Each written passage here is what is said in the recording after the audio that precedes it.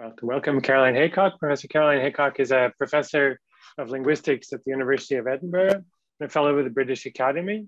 Um, she's extremely well known in syntax, has done a lot of very important work uh, on the syntax of English, Germanic, also Japanese, uh, very broad in terms of not only the languages and topics, but also the types of consideration that she's brought to bear to the field of syntax, including recently and, and less recently, acquisition, attrition, uh, and a prominent amount of work in language change and historical syntax, work that's been very influential.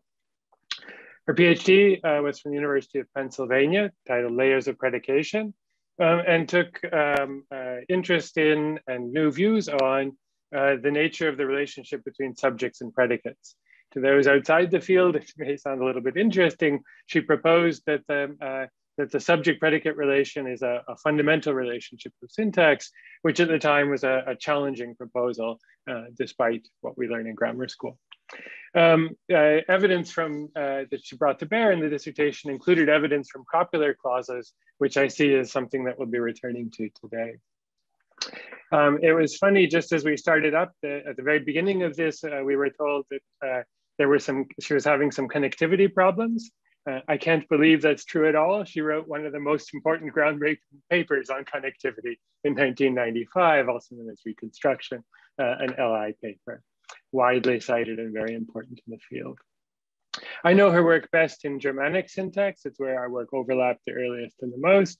Um, and this included topics like uh, embedded root phenomena and verb movement. Uh, a prominent uh, area of work in this uh, of hers involves Faroese, um, little set of islands with an oversized contribution to the field, um, but also um, uh, on Scandinavian generally.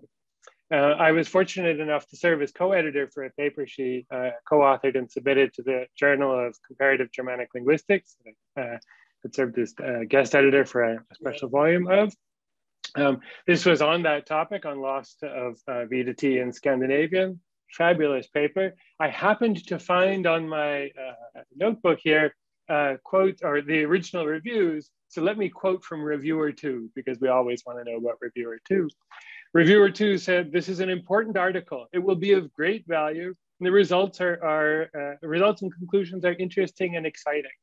This characterizes all of her work, I would say. Um, but if you're getting this kind of quote from reviewer two, then you're doing something very, very uh, more recently, some of the uh, work that she's known for includes collaborative work on the Scots, uh, At Scots Syntax Atlas project, and that includes a 2019 paper in language, uh, which received a EurekAlert from the American Academy of, uh, no, American Association for the Advancement of Science, which tries to publicize work um, uh, that should be of broad interest, which of course this is. I could go on and on, but I won't. Uh, I'll just mention very quickly beyond research that she's contributed a lot to service and teaching, including a stint as co-editor-in-chief of the Journal of Linguistics, the Journal of the Linguistic Society of Great Britain, and a fabulous series of, of syntax lectures on YouTube that we have to mention. Um, this was uh, put up pre-pandemic, but was a lifeline to those of us who suddenly were scrambling to find high quality material uh, online to make available to students and to enjoy ourselves. This was extremely useful for us.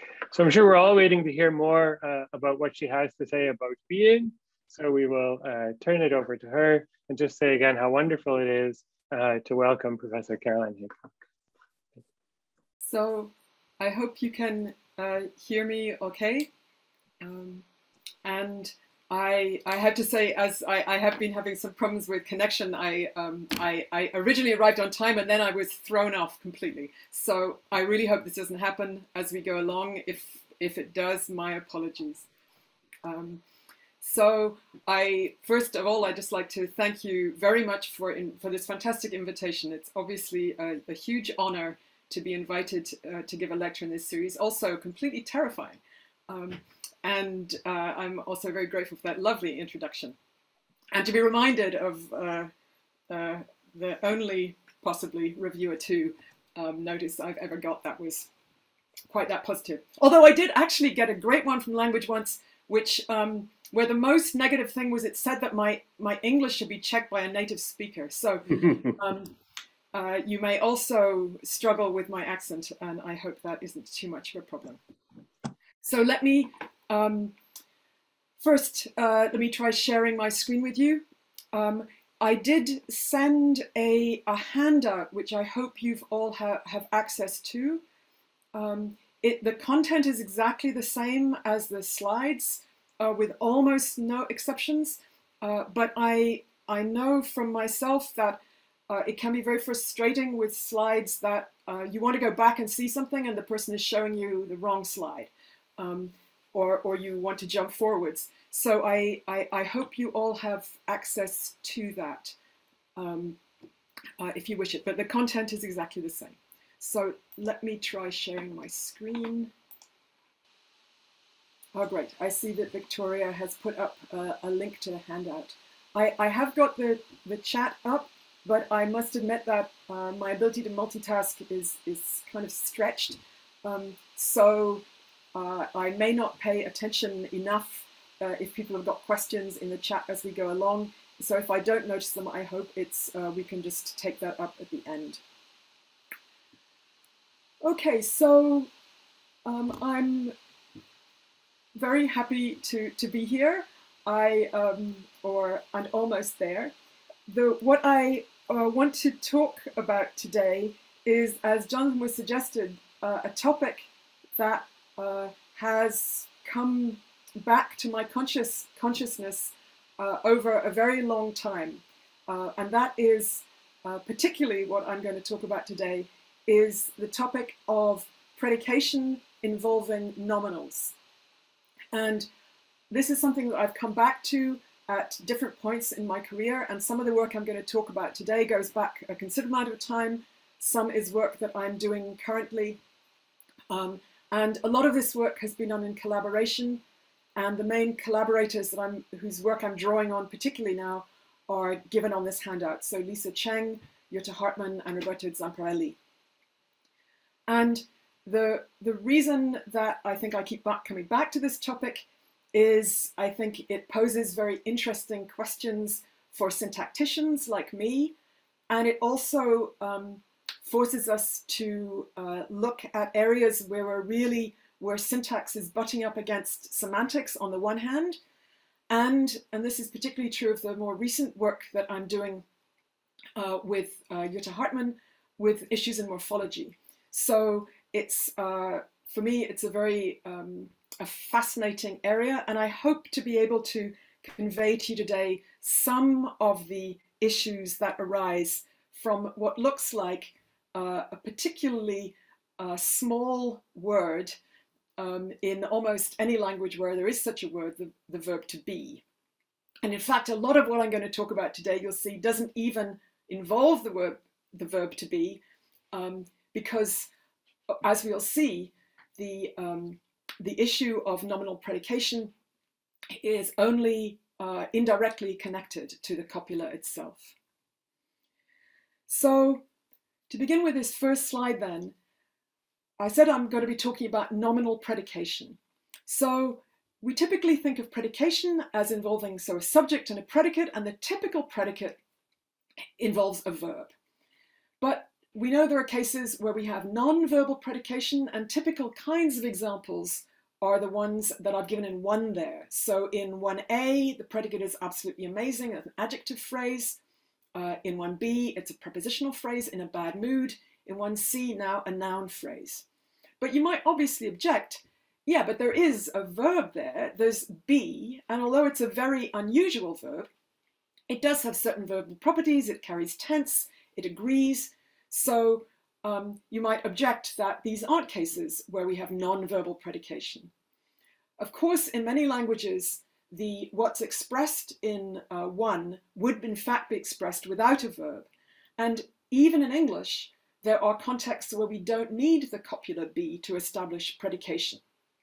And two such contexts are given in two and three. So after certain verbs like consider, although you can say they consider that Alex is absolutely amazing, so you can have a full clause with the verb to be, it's also fine to express the proposition that Alex is absolutely amazing just with the predicate and the subject without any copula.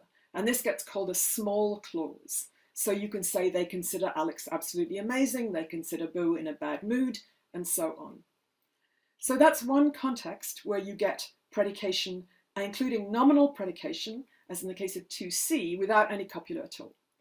And another um, instance where we find the same thing is what's called the absolutive with construction, where you, um, and, and this is illustrated in three. So just as you can say they consider Alex absolutely amazing, you could also say, with Alex absolutely amazing, we're going to look good. And it means something like, given that Alex is absolutely amazing, we're going to look good. So that case is with an adjective phrase, and then with 3c, you see it again with a noun phrase. So looks like predicates don't have to be verbal. You, they can be adjective phrases, preposition phrases, or noun phrases. And it's the last case that I'm most interested in, and we're going to talk about today.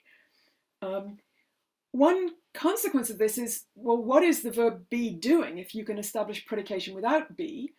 Um, and the, the typical assumption about the English copula be is that in fact it uh, carries very little meaning itself, and it's generally treated as a raising predicate, like seem, um, although it clearly is, I've called it a verb here, it's clearly got a, a, slightly different category, but this is a simplification that will do for us. But the crucial point is it takes this small clause as its complement. So the predication is established in this small clause that we already saw. So with Alex absolutely amazing, we're in great shape. You take that small clause, it's the sister of B, and then its subject can become the subject of the whole clause, which here I'm assuming is a projection of tense. So B is just a, a kind of raising predicate. Um, it also does the job in English of carrying tense information, which in English is only possible for um, verbal elements. Since at least the early 90s, most syntacticians have assumed that small clauses have a certain amount of internal structure including a functional head. And the typical assumption uh, following the work of Bowers in particular is that there's a dedicated functional head uh, um, which is, gets called per or um, for predication. Um, and this mediates between the subject and the predicate. So you see a small clause here is taken to be a, a PRP. The head, which is in this case phonologically silent, it takes as its complement the predicate and its specifier is the subject. Importantly, it does this even though the complement is already a predicate. So there's no reason to think that absolutely amazing is being turned into a predicate by this PR head. It seems that already all the evidence is that it's already a predicate. Um, and that's also something um, to bear in mind uh, because this will become uh, relevant in a moment. So the case that I'm most interested in, so we've seen already um, nominals that can act as predicates. And the most challenging case, and the, the one that I'm most interested here, is where we have definite noun phrases. So typically, definite noun phrases, like proper names, denote individuals. And when they show up in predicate position, this is often assumed to motivate the existence of a distinct be. So a be that isn't a raising verb, but is effectively a transitive verb. That is that it takes two arguments that are both referring. So in 6a, for example, you've got a name on the left and you've got a definite expression on the right. And 6b, I've attached non-restrictive relatives to both of those phrases. So the child you met yesterday, who you liked so much, is in fact Dawn, who I had been telling you about. And since um, a work that Susan Rothstein did a long time ago, um, the assumption is these non-restrictive relatives can really only attach to referring expressions. So it looks like you've got two entity denoting expressions, neither of them is a predicate. But in fact, it's been known for a long time, although it, it often gets forgotten, um, at least some definites really do have the distribution of predicates. And one hallmark of this is precisely that they occur in these small clauses. They don't need be. So although the cases in 8 are un unacceptable pretty much, where a name has been used in the predicate position of a small clause, the examples in 7 seem fine. So you can say they consider Dawn the child who'll do best, or with Dawn the child who do best, our class is going to look good. So you've got a definite, the child who do best, but it's functioning as a predicate. So it really looks like some predicates really, some definites really can act as predicates. And the ability to occur in these kind of small clauses is an important diagnostic for this. But there are other diagnostics um, that people have used, including certain kinds of coordinations that you can do. So there's plenty of different kinds of evidence for this. Now, so I'm uh, I'm a syntactician, so one of the things then that questions that interests me is whether definites that can occur as predicates, do they have a distinct syntax from definites that occur in argument positions, that definites that refer to individuals? So, well, what is the structure of definite noun phrases in English in any case? So the most obvious encoding of definiteness in English is done by including the definite article the or the. Um, I should just mention that these definites hide an ambiguity that's overt in other in a number of other languages. And that's the ambiguity between what have been called strong and weak definites. We could also think of as anaphoric or unique definites. So anaphoric definites refer to still still unique or maximal objects, but they refer to objects that have been introduced in the discourse context, possibly via various kinds of bridging. So in 9a, you say, I bought a book yesterday. You've mentioned a book, and now you can say when the author wrote the book. So the book there can be taken to be an, an anaphoric definite. It's anaphoric back to the previous mention of a book.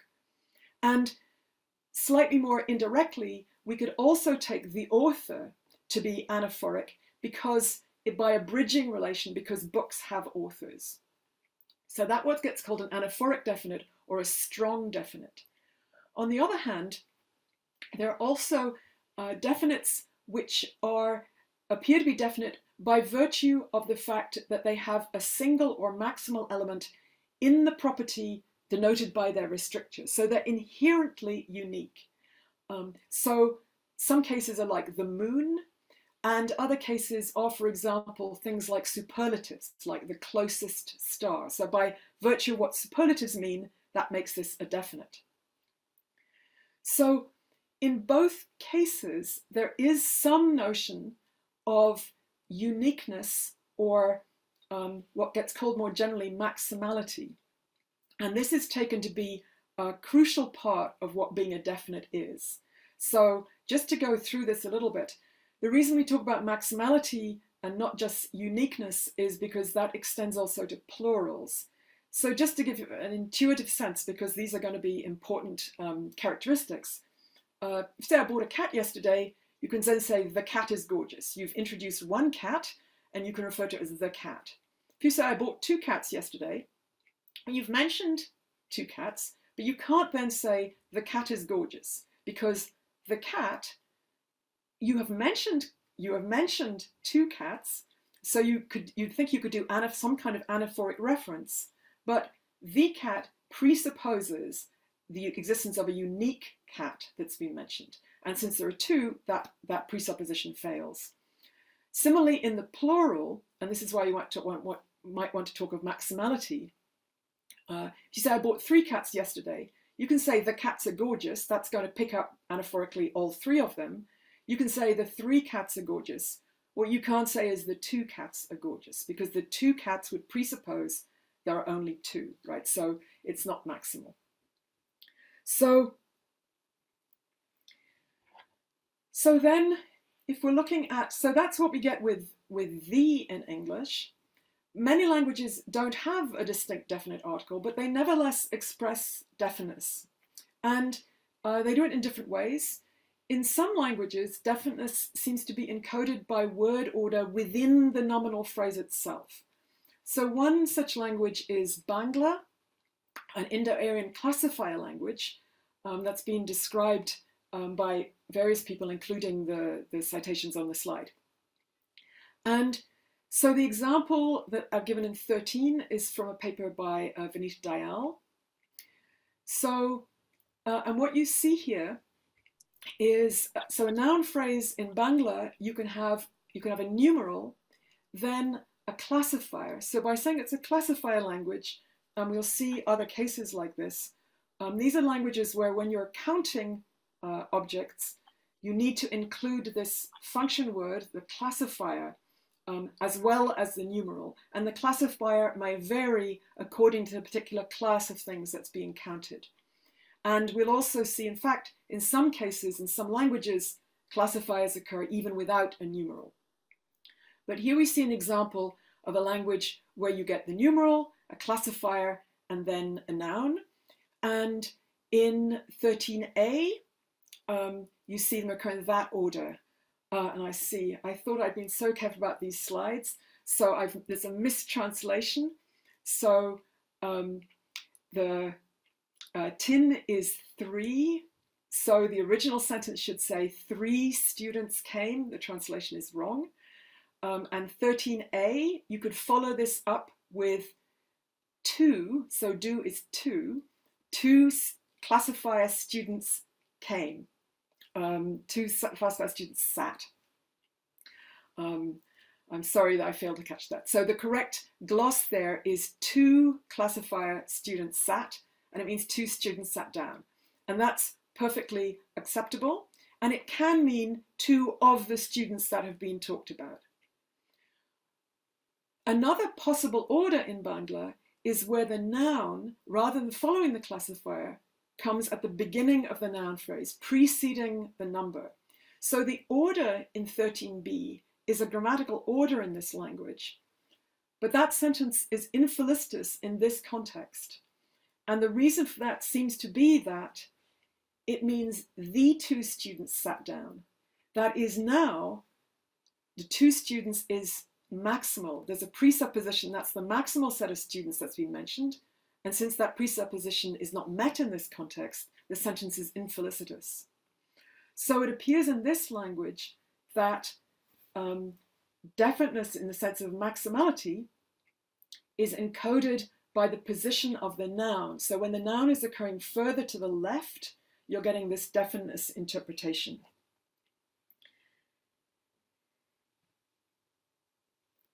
In other languages, um, there may be no apparent syntactic encoding of uh, definiteness at all. So one such language where at least superficially um, this might be seen to be the case uh, is Cantonese. So particularly in, so in this one uh, type of noun phrase where you have a classifier followed by a noun. So notice here it's possible to have a classifier and the noun and no numeral. And in this case, uh, as you see in 14, you can get a definite interpretation. So the sentence in 14 where you just have the object is the classifier noun, that can either mean I bought a book or I bought the book. So a definite interpretation is possible. And in subject position, classifier noun has only a definite interpretation.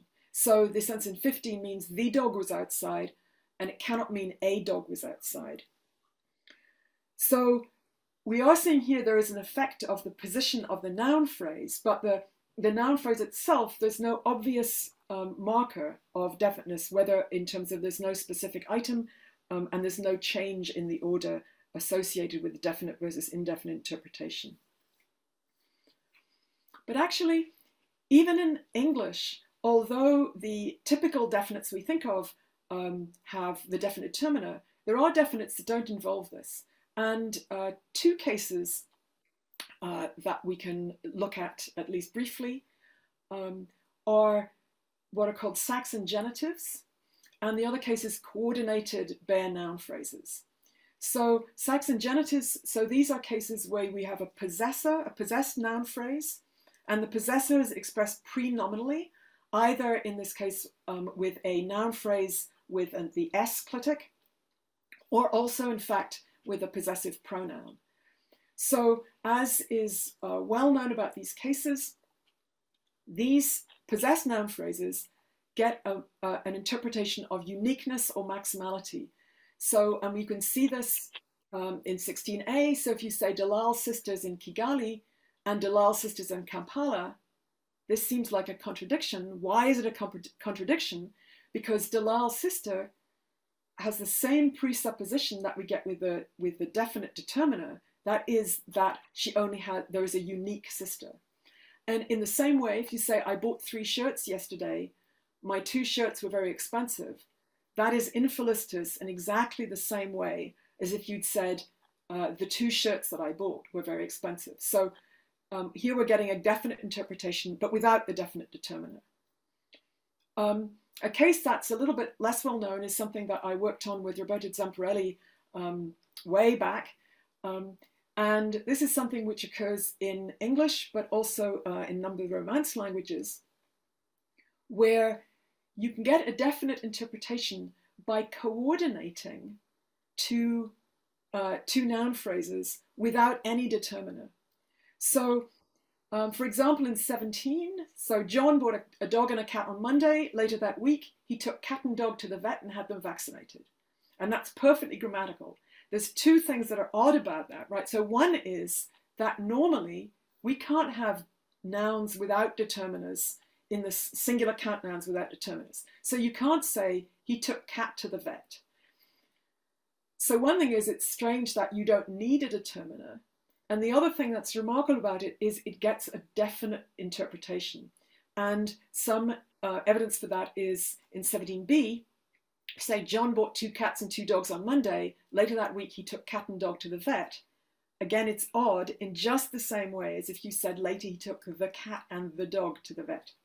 It fails because of the maximality presupposition. And in 18, uh, you see, here's another example. There was one for place setting, fork and spoon were both on the left. Um, it seems to refer anaphorically to place setting, since place settings contain typically forks and spoons. And another indication that it's definite is that in existential construction, uh, introduced with there, which in English really don't like definites, um, this is infelicitous. So there were fork and spoon on the table is really quite bad. Um, and we would argue that's because that's the same fact as you can't say there was the fork. So, so here's another case where we're getting a definite interpretation without an actual definite um, article. And, and it's um, one thing uh, that's also striking about this is these coordinated bare definites are strong definites in the sense that we talked about before. That is, they're necessarily anaphoric. Um, these new mention definites, where you have uniqueness that's just guaranteed by their meaning or guaranteed by a restriction, these seem to be quite bad.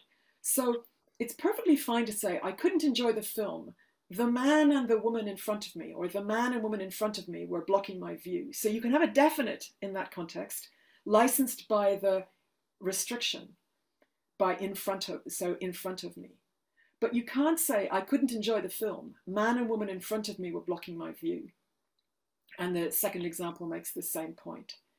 So here's a case where the contrast between strong and weak definiteness, which we don't really see with the definite determiner in English, we, we do see in this corner of the syntax uh, of English. Um, and I'll speak very briefly about the analysis that we, that we gave for these cases.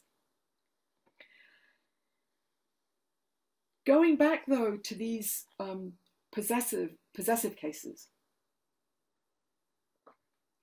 we, we already saw that um, these Saxon genitives, possess nominals in English in, in argument position, they have this uniqueness maximality interpretation that definites have. So if you say my book is on the table, and my book is on the floor. It's very odd because the presupposition of my book is that there's only there's unique book and it can only be one place at once. In 20b, I think the same thing is true in the plural. So Joe's tools are here and Joe's tools are also there. I don't think it's as bad, but I think this the same thing would be true in fact if you had the definite determiner.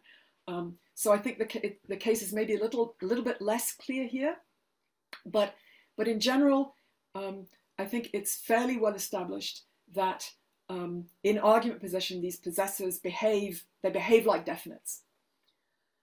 However, uh, what's also well known is that in predicate position, this maximal or this um, unique interpretation is lost. So while it's odd to say my book is on the table and my book is on the floor, it's absolutely fine to say the one on the left is my book and the one on the right is also my book. So here, my book um, doesn't seem to presuppose there's only a single book. And similarly, you can say these are Joe's tools and those are also Joe's tools, and there's no oddness at all.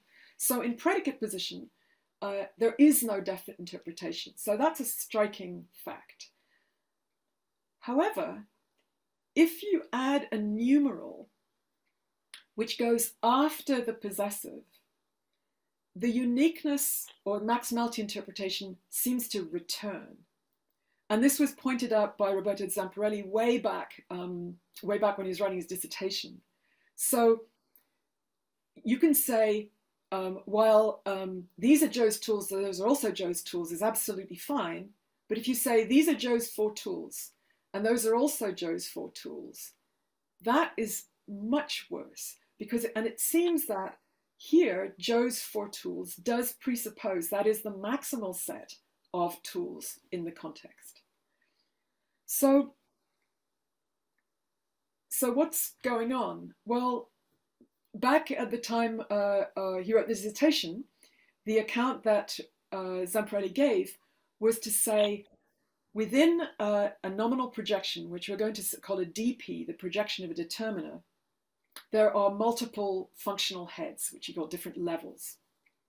And the outermost is what he called the strong DP, and this is argumental, it denotes an entity or, or a generalized quantifier. And then below it is a projection which hosts, among other things, numerals. And then below that, there's a noun phrase. Now there may be other other functional heads, and people and and uh, many people have uh, posted many other ones, and we'll see a more articulated structure shortly, but at least this. And what he proposes is that some heads can only appear in one position and others are ambiguous as to the position um, that they appear. And, uh, and then what he suggests is that in the example in 21, which was these are Joe's tools, he says, well, here the possessor is realized as the specifier of the NumP. So, um, see, no, you can't see it. Okay. Ah, um, let me, I'm sorry, I hoped that I could.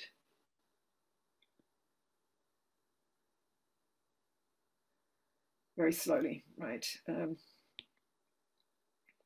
I'm sorry, I'm Yes, okay, now it works. So the idea is that the possessor occurs here, in this case.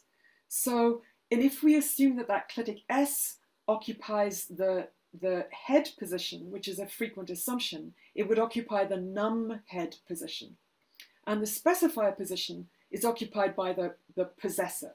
So Joe would be appearing then at the edge of the NumP definiteness is not triggered at that, uh, is not associated with that um, level of the, of the nominal phrase. On the other hand, if there is a numeral, the idea was, then that num position is preempted by the numeral. So the possessor cannot appear here. Instead, the possessor has to appear here. So that's saying that possessors are ambiguous in the position, well, they have two different positions they can occur within the noun phrase. The lower position is associated, has no definite, no maximality uh, interpretation. The higher position does. So that was the account that um, he gave in 2000. So as it's stated, this system entails that if you've got a possessive that includes a numeral, like Joe's four tools.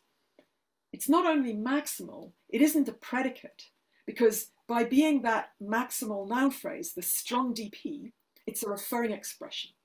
So what, um, what uh, Zamparelli had to say then was to say that the copular clauses, like these are Joe's four tools, he said, well, the reason you can say that is that we know that we have equative copular clauses. We know that it's possible to have this transitive be, which takes two entity denoting expressions and somehow equates them. But in fact, that can't be what's going on, or at least it's not the only possible thing that's going on. Because actually, we can have both the maximal interpretation, both the maximality and predicative status simultaneously. So in 24, for example, you can say something like narcissism and oversensitivity. I consider these Joe's two main weaknesses. So now we've got consider followed by a small clause.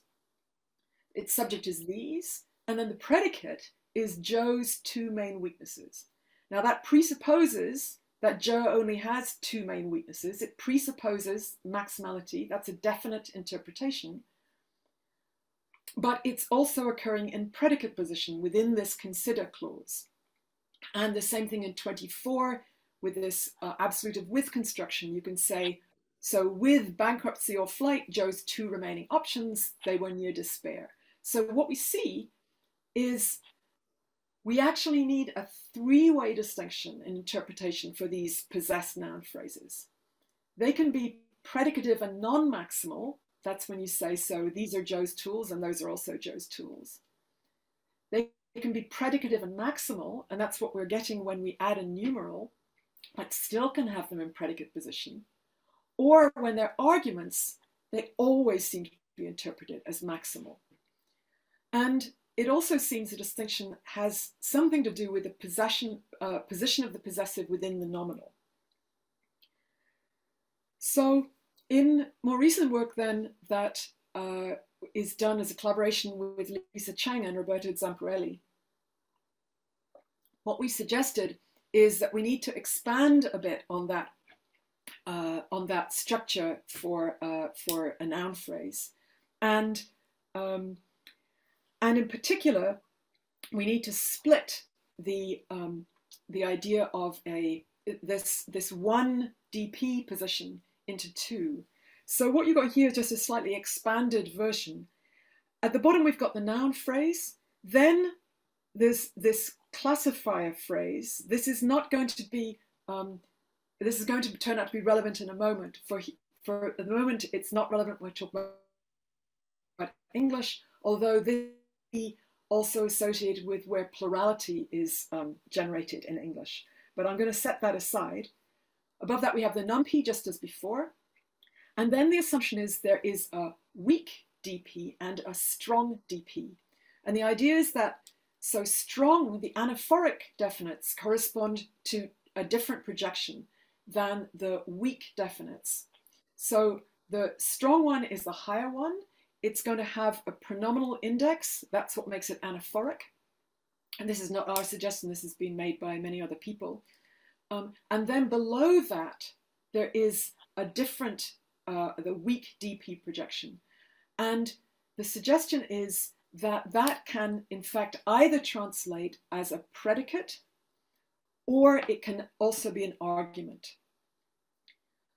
Um, syntactically, when I, uh, in either case, and this is uh, again coming from Zamparelli's earlier work, the idea would be that when either case, either head is null, it can be licensed by having a specifier. And semantically, the strong DP is going to be entity denoting, or it can denote a, quanti a generalized quantifier. And that's similar to what was said before. The weak DP, on the other hand, the idea is that this is essentially predicative. So, so basically it passes up the interpretation that it gets from the NumP, which is also predictive.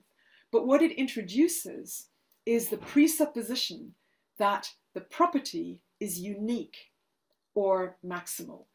And that's essentially um, what Coppock and Beaver in, a, uh, I think, a very beautiful paper in 2015 proposed, they called this the weak Fregean treatment of thee.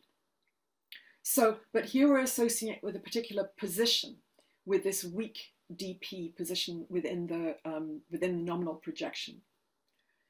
So, so this weak dp is predicative in type. However, we also assume that there's a type shifting, type shifting operator which can take singleton or maximal properties and return their unique or maximal element. So if you've got a property which is only true of a unique um, entity or of the, of the maximal uh, set of entities, um, this will give you that, um, that entity or that plural entity. Um, so that type shifter, it can apply to the output of the weak DP given that the presuppositions that that introduces, but it can't apply any lower. So the idea then is that these strong DPs are born as arguments. They're, they're, they're type E from the beginning. Weak DPs come in as predicates, but they can become arguments given this type shifting operator. And then any lower projections, so num-p and lower, cannot acquire an argument interpretation in that, in that way. So those are uh, predicates or the assumption actually is that uh, further down you've got kinds, but that's not relevant for us here. And finally, we also assume a, a minimized structure principle. And this kind of assumption has been made by many people in different ways. The way we, um, the way we implement it here is to say that languages, you have to use the smallest category which can accommodate all the material in the numeration. So basically, all the all the um, words, all the words and elements that you take out of the lexicon, you've got to be able to include those within your syntactic structure. In addition, um, you have to use the smallest category which has or can be converted to the appropriate semantic type. So that is to say, if you've got an argument, you need the type to be type E or the type for generalized quantifier. For property, to be uh, it needs to be appropriate types of function from entities to truth values. So that's the basic structure that's proposed for the, uh, for the noun phrase. So it's just a, a, slight expansion on what was suggested before. Um, and here the idea, the crucial difference, or one of the crucial differences, is that maximality is introduced at this level. And this is not but this is not the level um, at which you, uh, this is still a level at which you can have a predicative interpretation. So, and this is just um, then summing up some of the things that can occur in these positions, glossing over the distinction between what occurs as the head and what occurs as a specifier. So the idea here then is that um, this and that, for example, the demonstratives, those occur uniquely in the highest position. The, on the other hand, can occur either in this position or it can occur lower. This is what gets you the ambiguity between the strong and the weak interpretation of definites. It, and it's also what allows us to have the uh, introducing predicates. Um, so definite predicates would be this much of the nominal. We, um, a slight variant of the, an early analysis we gave of these coordinated bare definites is in fact that um, what we assume is that the coordinate head moves at LF to this high position and it licenses a silent determiner. Because it's the highest position, this gives us the um, anaphoric strong nature of these conjoined bare definites. But I'm not going to talk about them very much um, for lack of time. They were here in an earlier version of this talk. Um, so, um, so basically we've got the occurring in different positions, we've got the demonstratives occurring only in one position, and uh, numerals occur lower down, and possessors, as we've seen, can occur in different positions. And that's what gives us the different interpretations that you get for the possessors. Um, in, in predicate position, uh, the lowest, the best place they could occur is in this lowest position. They only occur in this higher position if you're forced to do this. So if the numeral, as I said, preempts the num position, the, the possessor is forced to be higher, and that then forces the definite, uh, at the same time, forces the definite interpretation. So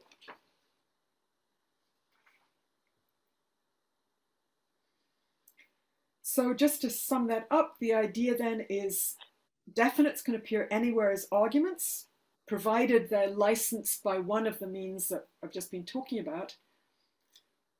If possible, they should be weak DPs. If um, there's a reason to make them strong DPs, then that's uh, that is possible, as long as there's something um, available to to um, license that much structure. The perfect candidate for the, for the weak definites, in fact, is superlatives. Um, and just in passing, it's possibly symptomatic that these are actually quite bad if you want to give them an antecedent. Um, so in 26, you can say Mark from Serbia was taller than any other living person. Unsurprisingly, the tall Serbian was a basketball player, it's fine. But unsurprisingly, the tallest Serbian was a basketball player, referring anaphorically back to the same person. It, it's, it's quite odd, and that may be a reflex of this fact. But the case I'm mostly focusing on is the predicative case. So the idea here is that the minimal structure to get a predicate interpretation is NumP or even smaller. It can accommodate possessors, but there's no maximality presupposition. The weak DP, which introduces the maximality presupposition, it's projected only if there is the in the numeration, where you've got to have, that's the lowest position in which you can insert the. Or you can get it, as I was saying, if the possessive marker is forced to be high by the presence of a numeral. Um, and that's the case of these are Joe's four tools. So, so there is um, uh, a case of, of um, uh, just some discussion then of how we derive the particular interpretations we get for these possessive definites in English. And something else that we think derives from this is another striking fact about definite predicates. And that is, and this was uh, originally uh, pointed out to us by our colleague Lisa Cheng, uh, with whom who is a collaborator in this work, is that in Cantonese, um, you don't seem to get definite predicates. So I illustrated some the classifier noun sequences in Cantonese earlier. So just to go back to that. If you have classifier noun sequences, they can get a definite interpretation in object position, and they can only get a definite interpretation in subject position.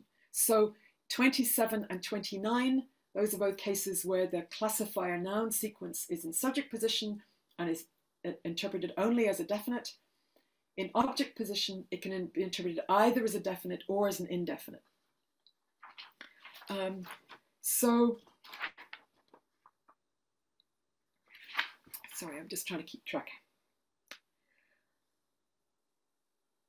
Um, that subject-object asymmetry um, and, and, as a number of people have pointed out, um, is reminiscent of something you find in romance, where uh, it is. It seems that you can find bare nouns in object position, but not in subject position. And the analysis that goes back now for a long way back to the 80s at least is to say that in these languages you've got a DP, so you have a determiner, you have a, a but it's null, and it has to be licensed by being um, selected by the verb. So people talk about being licensed under C command. This effectively distinguishes objects from subjects, among other, among other things. So um, the idea then is that in 30, you see that having bare dogs as subject in Italian is ungrammatical, but it's fine in object position. So the idea is that in both cases you have a, as a null determiner, that null determiner is licensed by the verb in object position but not in subject position. So um, a number of people have uh, pointed out that this can make sense of facts also um, in uh, more than one of the Chinese languages. So with respect to Cantonese, we can extend this same analysis um, to explain the distribution of the indefinite interpretations for classifier noun sequence. So if we assume that those nominals that consist just of classifier noun are actually DPs with a silent D that just as in Italian or other some of these other languages requires to be licensed by C command from the verb, you would expect that you would get that indefinite interpretation in object position, you would not get it in subject position. And that's exactly what we saw, that classifier noun cannot be interpreted as an indefinite in subject position, but it can in object position. But the obvious issue is, but what about the definites? How is it that these classifier noun sequences are, are fine in that subject position as long as you interpret them as definites? So the hypothesis is that the empty determiner can be licensed by having material in the specifier of its head. So um, Zamparelli, in his paper from 2013, argues that what happens in man um, in uh, sorry, this should not say Mandarin, but happens in Cantonese is a lower functional projection is moved to the specifier of the D head. And that movement uh, is then similar to what we saw in Bangla, in fact. It's not exactly the same, but it, uh, it's effect, uh, uh at least analogous. And um, it's not exactly the same because the, the same size of thing is not moving. But the idea is you have a projection of the nominal moving to the specifier of D, and crucially, giving rise to a definite interpretation. And this is a suggestion which comes from, in other work as well. So um, Andrew Simpson has said things which are similar. So if we go back to this, uh, this more elaborated structure, what we now add in here is that in the um, in these possession in these uh, specifier positions in these higher uh, of these higher projections, you can also have the classifier phrase, which, has, which moves to these positions. And when it does, it licenses the null D, so it makes it possible to occur both in subject and object position, but you get the definite interpretation, or and you get the definite interpretation. So what about predicates though? So as I said before, the striking fact is that definite interpretations for classifier noun sequences in Cantonese don't seem to be possible. So, um, so for example, in the context we say, I'm telling a friend about my colleague's children, if you say Kim, copula, classifier boy, Jan, classifier girl, it's interpreted as Kim's a boy and Jan's a girl. It's absolutely fine. But now we set up a context where we've already introduced um, exactly one boy and exactly one girl. So we're talking about pupils who will be chosen to meet the prime minister, and there'll be exactly two chosen, uh, one boy and one girl. If you produce the same sentence, so Kim, copula classifier boy, Jan, copula classifier girl, it's not really felicitous because it can only mean Kim is a boy and Jan is a girl. It cannot mean John is the boy and Jan is the girl. And this is quite striking given that we've seen that these definite interpretations otherwise occur both in object and in subject position. So why are they excluded from the predicate, um, from this predicative position? And the idea is this follows from this principle that I mentioned of minimized structure. So, and actually, this is pretty much what's happening in English possessors as well. So the idea is that the minimal predicative structure is, is NumP or possibly lower. The point at which maximality comes in, this weak DP. And why would you introduce that much structure? Well, if you've got a head like the in the numeration, You're going to have to because this is the, the lowest point at which you can assert it.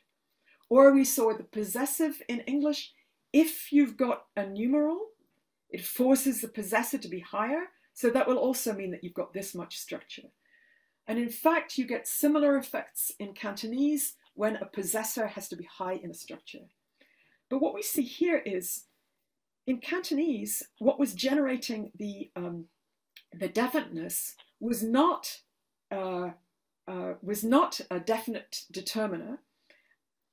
What was happening was by, by hypothesis, this clitic phrase was moving into this position. Um, and it was therefore, yeah, so it was moving into that position. But here, there's no reason for it to do that. So already in terms of type, this is already a predicate. So the NumP is already a predicate. There's nothing in, there's no item that's requiring this position. So, and, the, and this principle of minimized structure militates against generating it. So if you don't have any of those reasons to generate that structure, you can't generate it. So it follows then that in Cantonese, the predicate never gets to be bigger than this. So that then is an explanation for why definiteness is lacking in the interpretation of predicates, nominal predicates in, um, in Cantonese. So I now want to talk about the, the to move on to um, a case where it seems as though what we get in predicate position is not a, a predicative uh, nominal, but actually a, a, referring expression. So a nominal that seems to refer to an individual. And as I, as I mentioned, such, such uh, cases have led to the conclusion there must be a distinct B that equates two individuals. And there's a whole lot of different cases actually where something like this seems to happen. I think they're very interesting. Um, I would love to talk about some of the other cases, but today I'm going to talk about a, uh, only one, which is something that, um, as some of you know, I've worked on a lot in various ways. And that is a particular case where what appears to occur after the copula is uh, a referring expression. And this is the type that gets called a specificational copula clause. So this is the type that syntacticians have mostly been concerned with in the last um, significant amount of time, particularly since, um, ever since um, Higgins wrote a really brilliant dissertation way back in the 70s. So in the example in 38a, so here's a case where we've got the kind of uh, nominal predicate that I've been talking about so far, um, where you've got the best person for the job, the subject Pat, that seems to refer to an individual, and the best person for the job, however, is predicative, and we can tell because you can get it in the small clause. So you can say, I consider Pat the best person for the job. So copula clauses like this, where what occurs after the copula is predicative, get called predicational uh, copula clauses. But then you get examples like 39, where it seems it's the other way around. So the best person for the job is Pat. So now we've got the kind, what looks like the kind of definite that can be a predicate is in initial position. And in the post-copula position, what you've got is something that refers to an individual. These, that configuration has got some very peculiar properties. So one of the properties is that it has a fixed information structure. So normally in English, you can put the focus pretty much anywhere you like in a sentence. And that's true of predicational copula clauses. So when you've got a clause like the woman over there is the mayor, you can put focus either on the subject, the woman over there, or on the predicate, the mayor. And you can see this if we set up a context. So if you say, who's the mayor? That's going to put focus on the initial noun phrase. And you can say, that woman over there is the mayor. The specificational order would be, the mayor is that woman over there. And that's also fine as an answer in this context. So both of those are possible. But now if we try to put focus somewhere else, so if we say, who's that woman over there? Or tell me something about that woman over there. You can say, that woman over there is the mayor. So now we've got focus on the mayor, and that's absolutely fine. But if the question is, tell me something about that woman over there, and you say, the mayor is that woman over there, that is very weird. Um, and what seems to be the case is in the specificational order, the new information focus has got to be the post-copular part.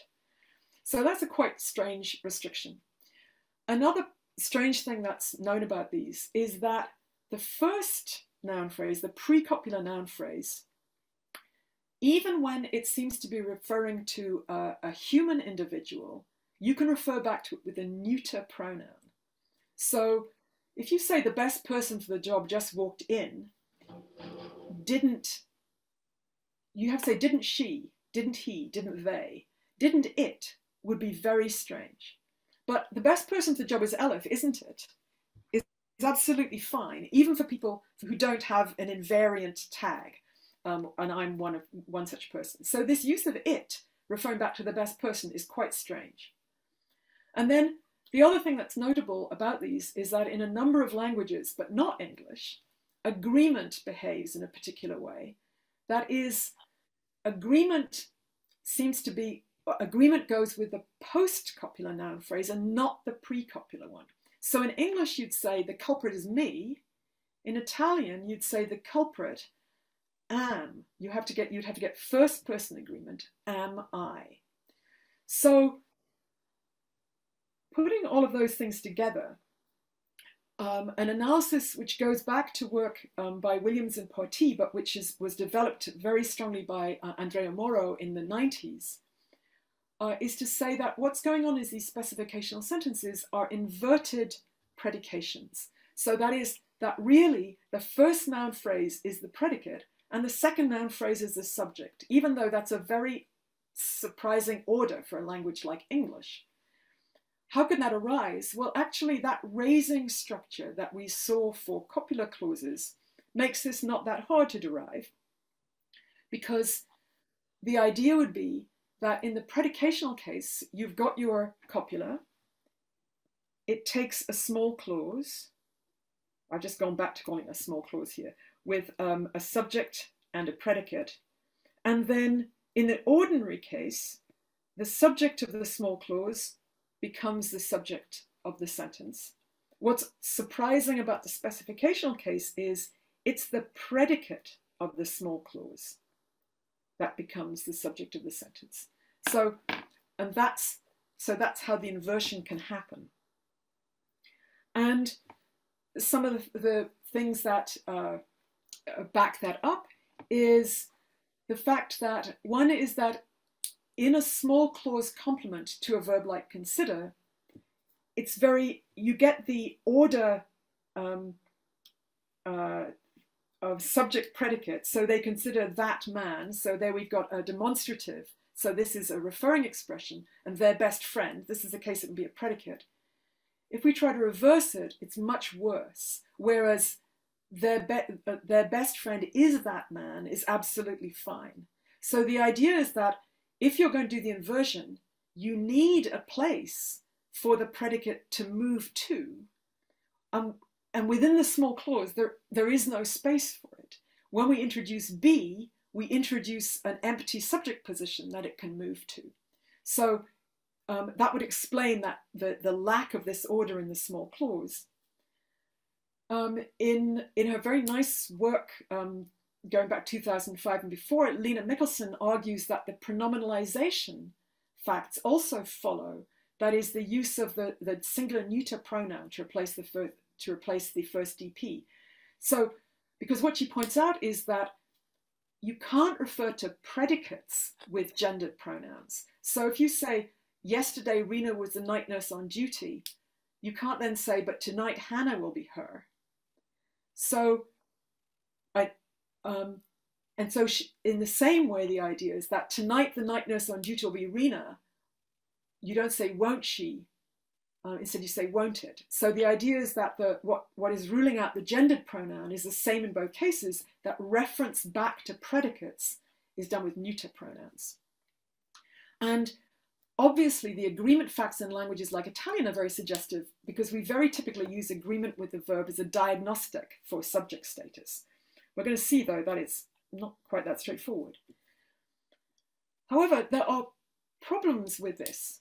So one problem is that those pronominalization facts actually. So it's uh, in English, it's actually quite hard to pronominalize uh, a predicate. Um, so if you say, are you the nurse on duty? It's true that you wouldn't say, uh, yes, I am her, or yes, I am him.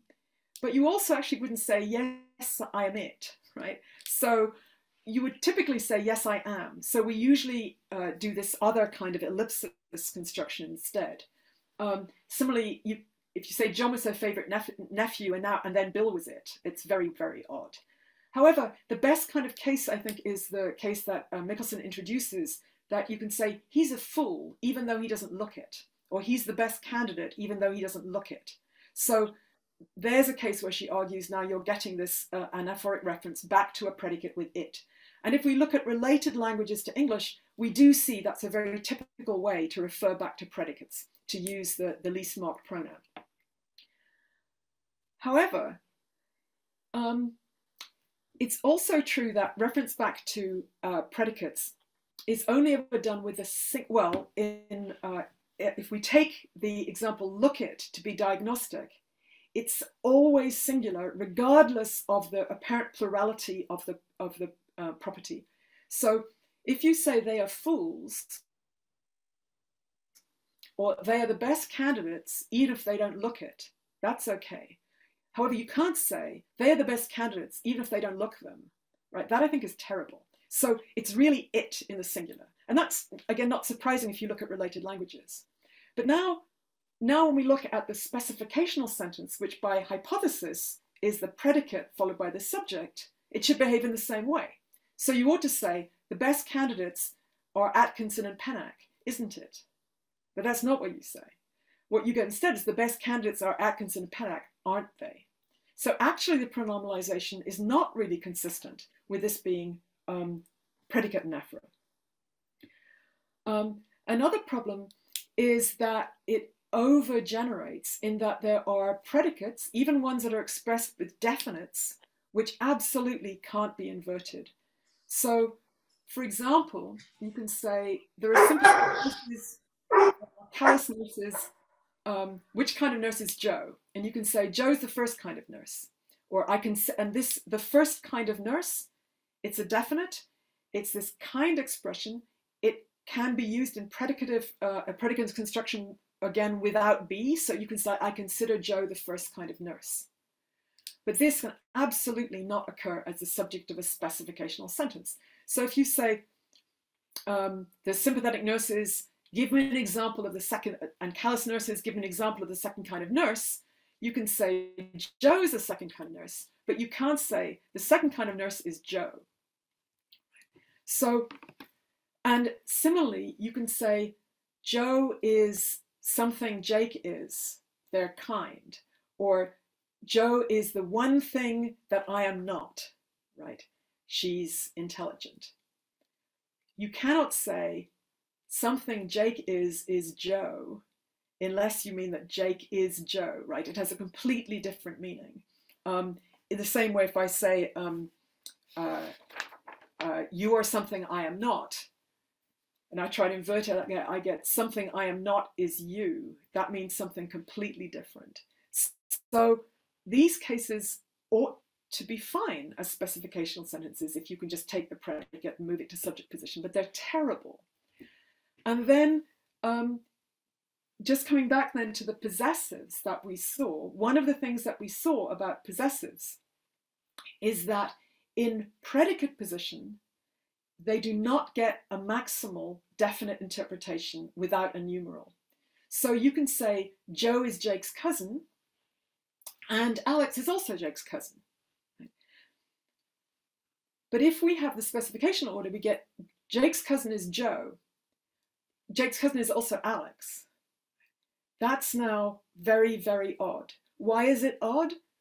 Well, it looks like it's odd because Jake's cousin presupposes the existence of only one cousin, but that's not what predicates do, right? We saw that possessors in predicate position don't have that presupposition. So it's not behaving like a predicate. An alternative explanation is that the subjects of specification sentences are not predicates.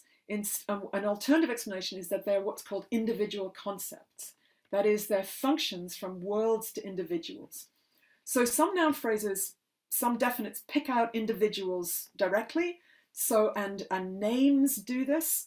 So you could say whoever, you know, what um, Caroline refers to, it's the same today, it was the same person yesterday, it was the same person the day before yesterday.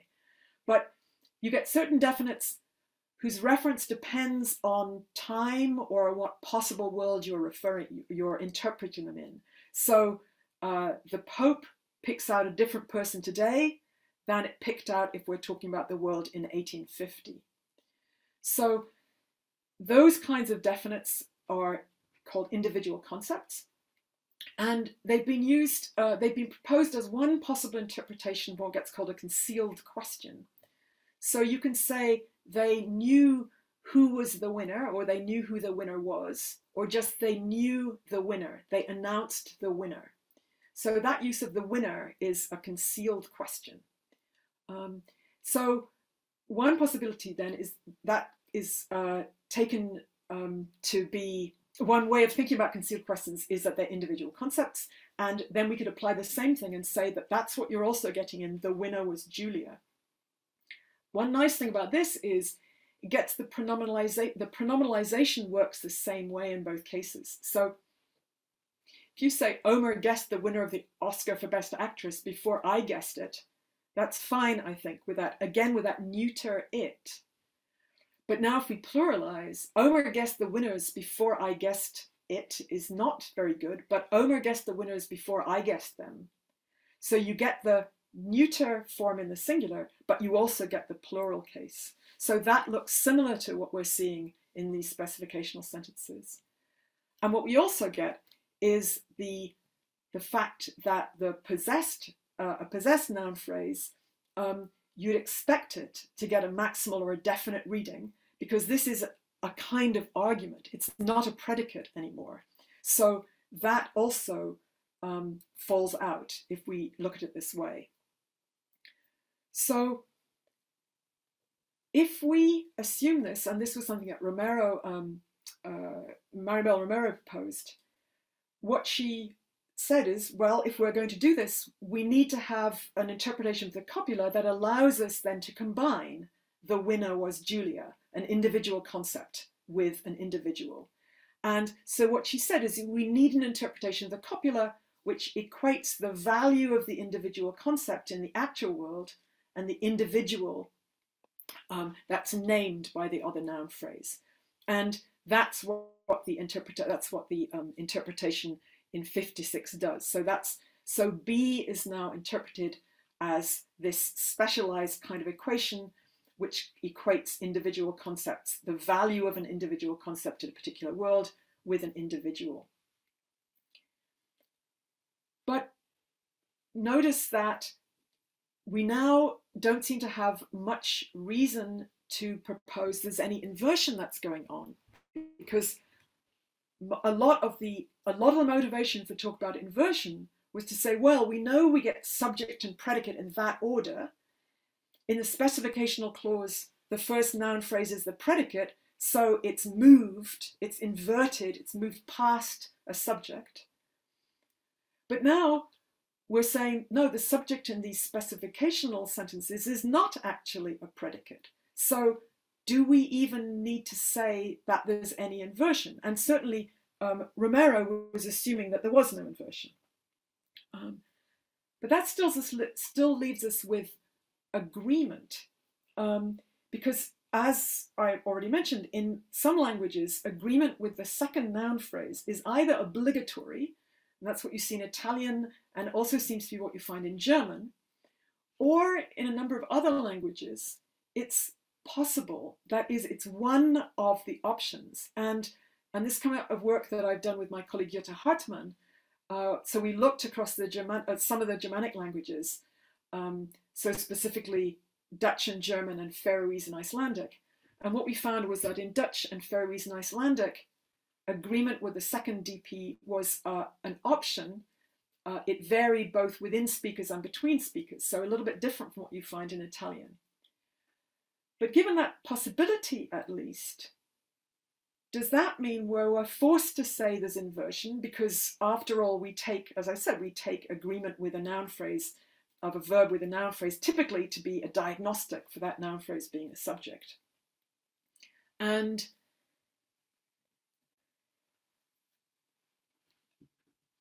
in fact, however, although that is what we teach our students in the, at least what I typically teach my students uh, at the beginning when you're teaching them syntax and they want to know well, what's a subject, we actually know that in certain cases, languages can allow verbs to agree with nominals that aren't subjects.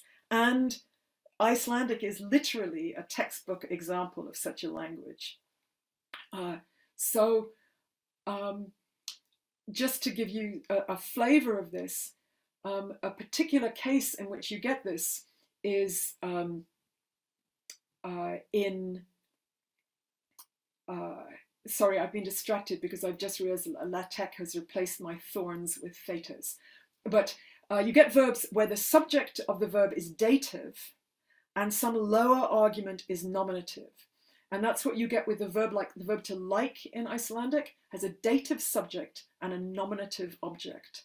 Um, and what you see in 58, I won't go into the arguments to show that indeed that dative really is a subject, but this is something which has been very well established over a, long time. But what you see is you can actually get agreement in number with that um, with that object. And, um, and that's what you see in 58a, where you're getting third person plural agreement on like. A striking fact, though, in Icelandic is you get agreement for number. However, if that lower nominative argument is non third person, you cannot get agreement in person. And not only that, in most cases, it's just ungrammatical. So in 59a, and for now I'll just focus on the A examples, if you want to say, she liked you, you can't have third singular agreement, but you also can't have second singular agreement. And in fact, there is just no good agreement in this case. So um, it's so this is a case of kind of ineffability. You have to find another way to say this completely. So this gets this is what might call a person effect, and I see that I'm taking a bit longer than I, I'd hoped at this point. So what I'm going to do is uh, uh, summarize the, the pattern here. And if anyone is uh, really interested in uh, Icelandic, I'd be happy to come back and, uh, and talk about this in more detail um, or to if you want to ask me questions, but I'll try to convey the gist of this. So essentially what we see here is that in Icelandic you can agree in number, if you've got a dative nominative uh, sentence, you can agree in number with the, with the lower argument, the lower argument, the second argument. You can't agree with it in person, and in fact, if it's not third person, it's just ungrammatical. Now, um, and I, I think I've got to skip over this. Um, and those of you who are, are, are, agreement nerds, we can go back to it. Um, the, this is an account of how you derive that derive that um, effect. Um, but I don't want to keep you all very late. The, the upshot, however, is uh, this is a way to derive that pattern. And a crucial part of this account is people treat the dative argument as looking from the outside as though it was third person. And and that's just a, a function uh, uh, is supposed to follow from the case that it has. The fact it's not nominative makes certain things inaccessible, so it gets treated as a third person noun, regardless of what person it actually has. But what that means is that if we're looking Icelandic, if we look at, if you look just at 63, so here's the case where you've got these dative nominative verbs. So you've got tense, and that's where we think agreement resides. The dative argument, which is which looks, as far as agreement is concerned, looks like a third person element. And then you've got an, a lower nominative argument. For our, our copular clauses, if we're now entertaining the idea they don't involve inversion, you've just got two DPs. Again, you've got tense, you've got two DPs. The first one is third person because this is going to be an example like the problem is your parents or the problem is you. So that first noun phrase is third person. And then you've got another noun phrase, which could be third person, it could be plural, or it could be first or second person. So if we assume there's no inversion in these copular clauses, these things look very parallel, and we should find the same pattern of agreement. But the fact is, we don't. Um, and uh, again, uh, so this is work that I'm engaged on currently with my colleague Jutta Hartmann from Bielefeld. Um, and so we've and we've been doing this mostly with online uh, question questionnaires or online experiments um, involving rating um, people giving uh, judgments. And we set up one of these experiments. We're looking both at these dative nominative cases and at the copular cases so that we could get a minimal um, differences where the same people rating the um, both sets of cases. So we had the, the, made the data as comparable as we could. So the relevant case here then is a case in 64 where we've got the main problem, a form of the verb to be, negation, and then a second person plural. So the main problem wasn't you. And we gave them, uh, among the options they had were third person singular agreement on be and second person plural agreement on be. So if you remember in the dative nominative cases, when you had a non-third person as the lower argument, the thing that the verb is trying to agree with, the sentence was just ungrammatical. Um, and this was not what we found. So what we found was that the first case, that case in A, so this is where you get third person singular agreement. Most speakers rated this very highly. So this was found to be um, very, very acceptable by most of our speakers. And uh, on the other hand, the other possibility is full person agreement. So that's what you see in the B case. So this is where you're really agreeing with that second person plural. This was not ranked as good, but it was significantly and uh, to a not only significantly by quite a large margin better than the equivalent in the dative nominative construction. So that strong person effect that you got in the um, in the dative nominative case we did not replicate in these examples. So that is unexpected if these don't involve any kind of inversion. However, just very briefly, if we assume that, going back to the idea that there really is inversion, that is to say that when you've got something like the problem is you, you start out with you as in a higher position and the problem in a lower position, we've got a chance to derive the agreement facts correctly. Because what we can assume is that assuming agreement is downwards, that is to say that the agreement here is looking down the tree for something to agree with, then if this noun phrase that's in the lowest position moves directly to a position above the agreeing head. What that agreeing head will see is this noun phrase, which is now the last one. So this is DP2 agreement. This is where you say the problem are you.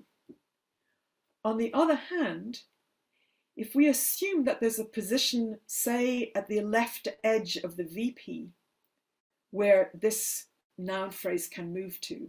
So if instead of moving directly to the top, it moves via this position, now it will be found, it'll be the first thing that that agreeing head sees. So that way you would get DP1 agreement, you get agreement with the first noun phrase.